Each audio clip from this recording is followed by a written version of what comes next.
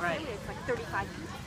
And you're like all the extended And I just kids mean, and I just mean grandparents, nieces, nephews, and and um, no, and um, uh, brothers and sisters, or I guess sisters in this case. Like that comes out to 35 people, yeah, that's a lot or and step step, my step uh, brother and sister. So it's yeah, it's a lot of people. You like her hair?